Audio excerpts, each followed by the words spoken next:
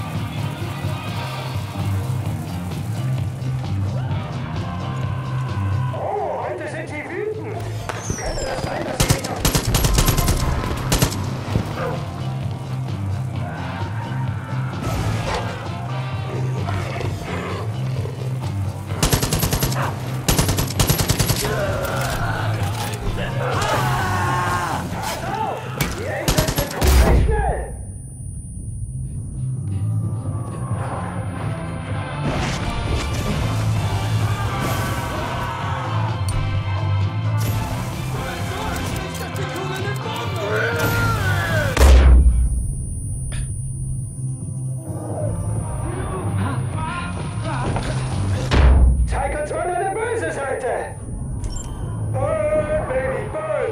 Just go like burn!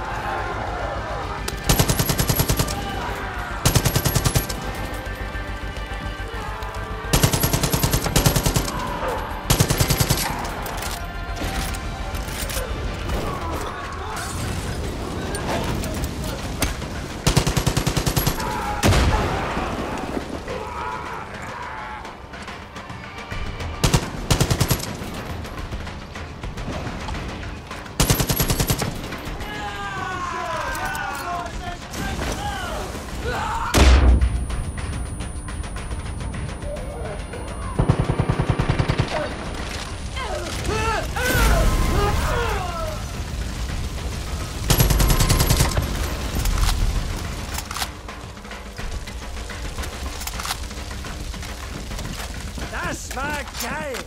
Wenn nur alle Cops so cool wären wie du. Was soll ich sagen? Ehrlich, wir beide, das ist pure Chemie. Wir sind ein verdammt geiles Team. Alles klar, mach dein Ding. Ruf mich, wenn du dich das nächste Mal mit den Angels anlegst.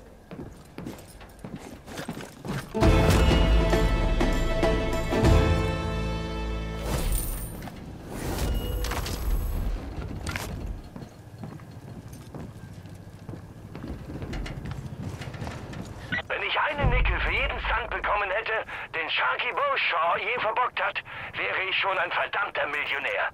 Er ist trotzdem eine Kämpfernatur und scheißt auf Eden's Gate. Man muss halt nehmen, wen man kriegt, was?